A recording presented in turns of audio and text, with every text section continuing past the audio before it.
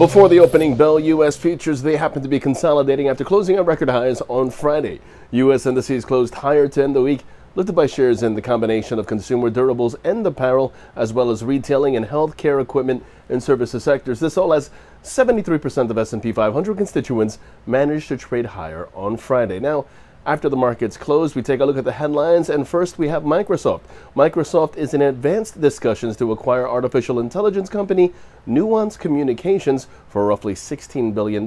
This, according to reports from Bloomberg News. Moving on, also in the headlines, we have Uber Technologies, which is gaining ground pre market as gross bookings reached its highest monthly level during the month of March. Now, taking a look at today's market action, there's no major earnings expected, but on the economic docket after the opening bell, 11 o'clock in the morning, we have U.S. consumer inflation figures.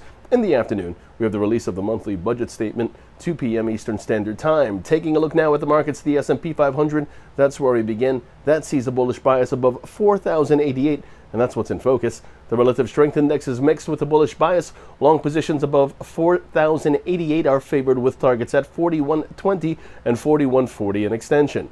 The Nasdaq, meanwhile, that happens to see further advances while the Dow Jones sees the bias remain bullish.